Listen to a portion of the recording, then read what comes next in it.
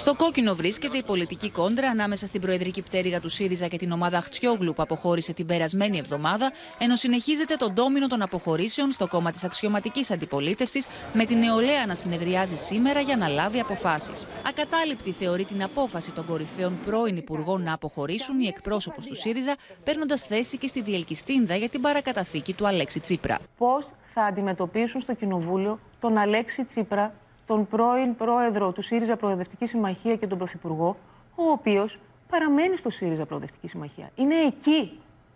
Άρα, νομίζω ότι η ίδια η ζωή απαντά.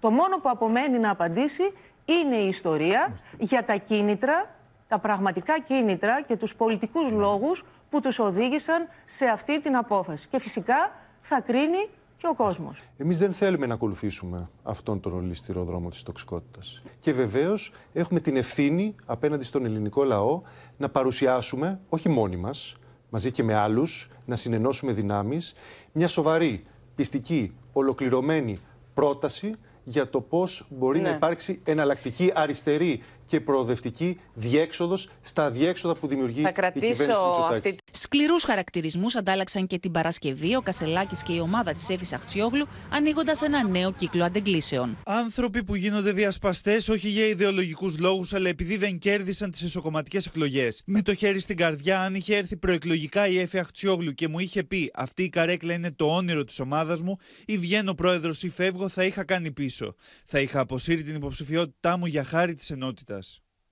Η χειδαιότητα της σημερινής ανάρτησης του κυρίου Κασελάκη επιβεβαιώνει την ορθότητα της επιλογής μας να αποχωρήσουμε από το κόμμα Κασελάκη. Αν θέλει να κατανοήσει και τους υπόλοιπους πολιτικούς λόγους των μαζικών αποχωρήσεων, τον παραπέμπουμε στη χθεσινή δήλωση των μελών της Κεντρικής Επιτροπής, λαμβάνοντας υπόψη μας το σοβαρό ενδεχόμενο να νομίζει ότι είναι πουμαρό.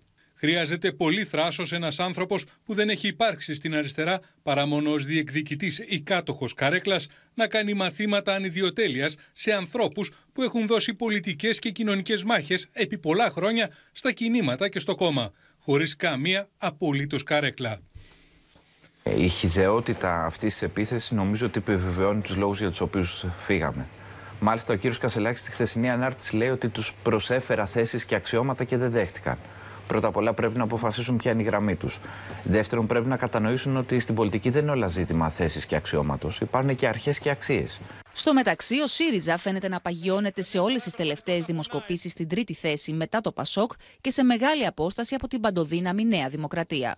Όσοι έκαναν την επιλογή της ρήξης έχουν δώσει μεγάλο αέρα πολιτικό αντικειμενικά. Δεν κάνω δίκη προθέσεων άλλου τύπου ή σκοτεινών διαδρομών. Θέλω να είμαι ξεκάθαρος στην κυβέρνηση του κυρίου Μητσοτάκη να προχωρήσει ε, σε μεγάλη επιβάρυνση ε, των δημοσίων οικονομικών. Οι εννέα αποχωρήσαντες ετοιμάζονται ήδη να συγκροτήσουν κοινοβουλευτική ομάδα με τους Τσακαλώτο και Πέρκα από την Ομπρέλα, ενώ επικεφαλής αναμένεται να είναι στη Βουλή ο Αλέξης Χαρίτσης. Δεν γίνεται να συμβιώνεις με κάποιον ο οποίος σε ονομάζει ε, υπονομευτή, πεμπτοφαλαγγίτη, ε, σε ονομάζει ή, ή με στελέχη τα οποία έκαναν λόγο πριν από μερικές εβδομάδες για αποπαρασίτωση του ΣΥΡΙΖΑ.